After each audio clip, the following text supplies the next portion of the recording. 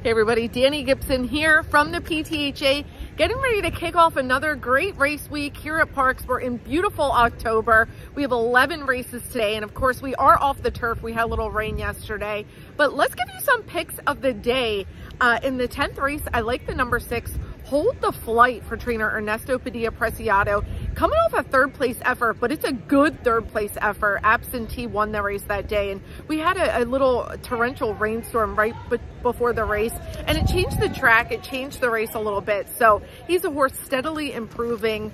Um, he is two to one morning line, so we'll see what kind of odds we get on him. And then look out in the ninth race for some uh, longer price horses. The number five, Silver Fury. Uh, trainer switched to Frank Polara, but keeps jockey Jeremy Laprida, still same owners uh, of Silver Fury.